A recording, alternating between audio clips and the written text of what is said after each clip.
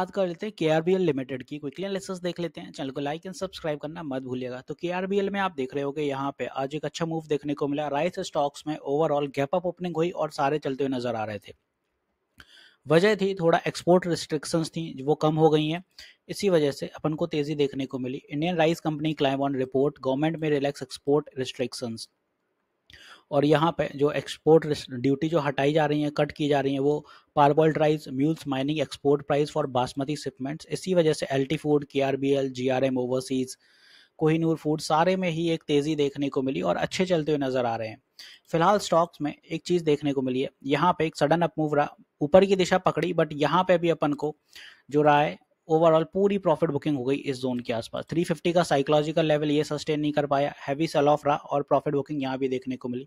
यहाँ पे अपन को एक इन्वर्टेड हैमर बनते हुए नज़र आ रहा है। फ़िलहाल यहाँ पे जो भी मूव रहेगा अपना ओवरऑल इन नियर टर्म में, वो कहीं ना कहीं इस ट्रेंड लाइन के ऊपर ही रहने पर ही बन सकता है। बिकॉज़ अगर इस ट्रेंड लाइन के ऊपर स्टॉक सस्टेन कर रहा है, तब तो बड़ी संभावना है कि स्टॉक यहाँ से तेज़ी पकड़ जाएगा। और अगर ये नहीं होता है तो फिर ये वीकनेस के साथ ये गैप फिलिंग करेगा, जो कि ये छोटा सा गैप यहाँ आज क्रिएट हुआ है। तो ओवरऑल अगर ये सस्टेन कर रहा है कल या आने वाले दिनों में, तब तक यहाँ आप होल्ड कर सकते हैं अदरवाइज़ नहीं कर रहा है तो फिर ये वीकनेस के साथ फिर से अंदर आएगा। हालाँकि ब्रेकआउट हुआ बट सस्टेन करना इंपॉर्टेंट है, तभी वो ब्रेकआउट माना जाएगा, वरना नहीं माना जाएगा। ब्रेकआउट एज एन यहाँ पे आप देखें, ये कुछ ट्रेंड लाइन्स बनती हैं अपनी यहाँ कहीं से। इसी एक लेवल का यहाँ ब्रेकआउट हुआ, नीचे ये सपोर्ट बनता था। तो स्टॉक जब भी आता था, इसी जोन में रहता था, ये कुछ फॉर्मेशन है। तो यहाँ से अगर फॉल कर रहा है तो फिर से यहाँ कहीं आ सकता है वो। सावधानी बरतिएगा। यहाँ पे वन डे टीएफ के अकॉर्डिंग स्टॉक हैवीली बुलिश हैगा फ़िलहाल तो। आर अपन को ऊपर की दिशा निर्धारित कर रहा है और साथ ही साथ वीकली टीएफ पे भी आप देखें तो एक बुलिश मूव अपन को देखने को मिल रहा है। यहाँ कहीं से अगर इस ट्रेंड लाइन के साथ आप चलते हैं तो ये अप ट्रेंड की ट्रेंड लाइन हैगी और सही चलते हुए नज़र आ रही है। बट जो इंपॉर्टेंट जैसा मैंने कहा है कि नज़र रखिएगा ये लेवल पर अगर ये थ्री और two three twenty five sustain करता है, तब तो बड़ी संभावना है कि के अपना ऊपर की दिशा पकड़ जाएगा। 325 इसलिए बोल रहा हूँ बिकॉज़ वो साइकोलॉजिकल लेवल होता है तो यहाँ कहीं तक टेस्टिंग हो सकती है इस जोन के आसपास।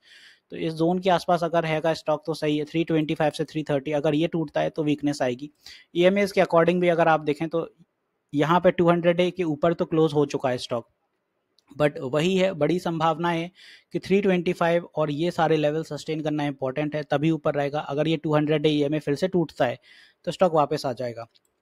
तो दोनों पॉसिबिलिटीज़ हैं। अभी जिस रेंज पे स्टॉक है और ऊपर की दिशा पे जो अपने लिए बड़े टारगेट हैं, फिर से 350 का ही है और 350 से 360 ये जोन अपना बहुत सेल ऑफ़ का जोन रहने वाला है।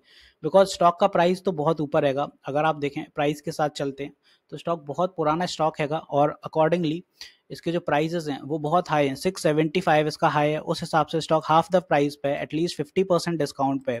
इसीलिए बोल रहा हूँ कि थोड़ी सावधानी बरतिएगा बिकॉज़ स्टॉक में बड़े मूव बहुत रेयर आते हैं और उसी के साथ साथ आप देखें रेयरेस्ट केस रियलिस्ट केस ये रहता है कि स्टॉक जब यहाँ से निकलेगा 350 तभी कोई अच्छी तेज़ी पकड़ पाएगा।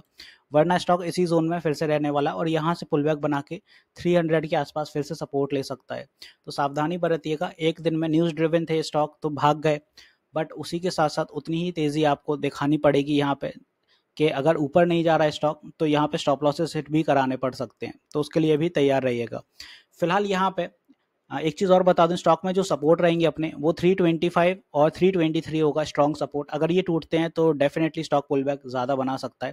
बिकॉज़ मैं इसलिए बोल रहा हूँ कि स्टॉक पुल बैक बना सकता है। ओवरऑल आज जो रिटर्न सबसाइड हुए इस वजह से, अगर यही रिटर्न आज थ्री के करीब होते तो मैं ये बोलता कि डेफिनेटली स्टॉक ऊपर चल सकता है।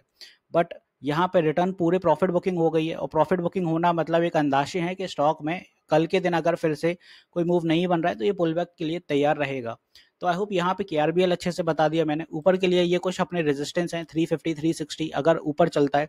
नीचे के लिए स्ट्रॉन्ग सपोर्ट 325 323 और अपना रहेगा 320 सॉरी 330 ये कुछ नीचे अपने स्ट्रॉन्ग सपोर्ट होंगे। साथ ही साथ यहाँ बता दूँ, मैं लाइव सेशंस भी लेता हूँ मार्केट आर में सुबह दस बजे से एक बजे तक और शाम नौ बजे। तो प्लीज़ अपनी क्वेरीज क्लियर करने लाइव सेशन से में ज़रूर जुड़ा करें। लाइव इंटरेक्शन काफ़ी अच्छा होता है। तो मिलते नेक्स्ट वीडियो में। This is me Shubham Yadav signing off